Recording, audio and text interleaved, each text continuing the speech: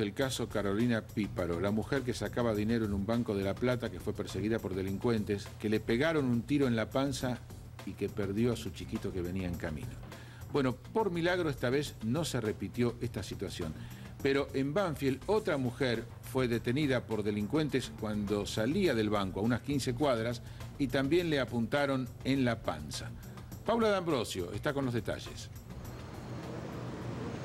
Buen día Ángel y estamos hablando de Neolia Chesira que salía ayer en horas del mediodía de esta sucursal del Banco Provincia ubicada en el Cine y Maipú, en la zona de Banfield. Se subió a su vehículo particular junto a su mamá, quien la había acompañado a retirar un dinero de esta sucursal a 15 cuadras de este lugar, exactamente en la calle Beruti, en el cruce con Acevedo. Es interceptada por tres delincuentes en otro vehículo que la obligan a bajar la ventanilla, a bajarse luego del vehículo.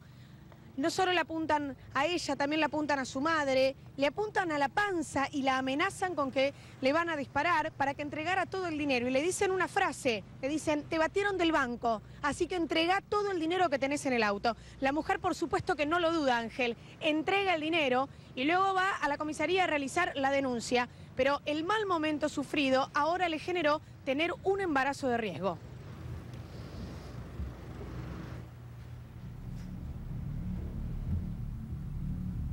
Volvió a preocupar la situación.